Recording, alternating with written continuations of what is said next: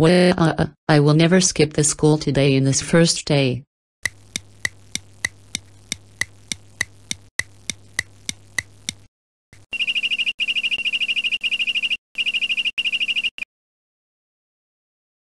Good morning, Dora.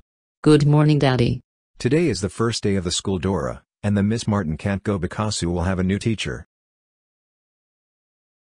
A new teacher? What the name of him? I don't even know, Dora. You will find it. Brush your teeth and eat your breakfast and get ready for the great day.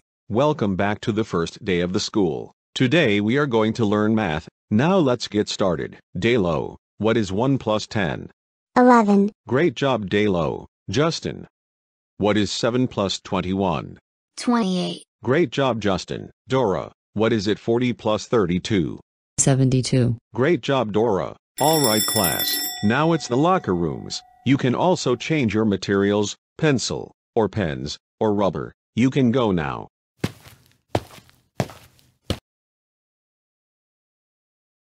Daylu. Did you ever see this new teacher ever? Yes, he is the good teacher ever, but I can still skip to the school because my mom want to let me home. That's right, Daylu. And my dad want to live home because I only go to school instead, and I've misbehaves them. You know what, maybe there and one person that want to push to talk on my way, it is because I always taking me bold. Exactly. Oh. Is alarm again, let's go to the classroom. Alright class, today we are going learn about the math again. Then let's get started, and the least get your empty exams. You know what? Maybe I can write and complete the math, then I going to start. Alright. I gonna do math to make the teacher happy.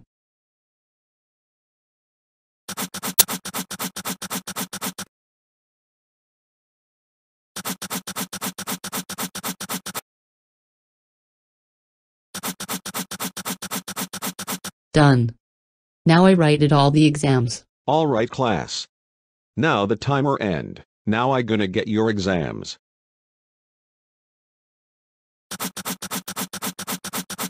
Here you go. Wow, I got C from my exam. A plus is very fine. I get A plus 2 Justin. Alright class. The school is over. You can go home now, and have having great holidays.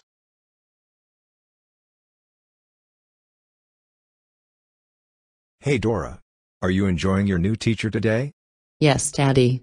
The name of him is PC Guy. And also, you are ungrounded for one days. You can do whatever you want. Yay. I am not grounded anymore. Maybe I can do everything I want.